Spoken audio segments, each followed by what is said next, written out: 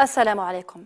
علمت الحياة بأن بين الأشخاص الأربعة المقبوض عليهم في قضية الكوكايين. يوجد ثلاث إخوة أما الشخص الرابع فهو شريكهم في شركات أخرى وليس في الشركة التي استوردت اللحوم وتم ضبط الكوكايين في حاويتها.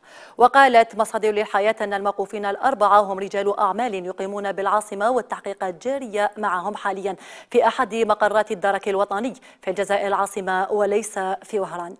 وكانت المخابرات الجزائرية حجزت سبع قناطير من الكوكايين في عشرة حاويات مخصصة للحوم مستوردة من البرازيل وقادمة من مدينة أليكونت الإسبانية على متن باخرة تحمل العلم الليبيري.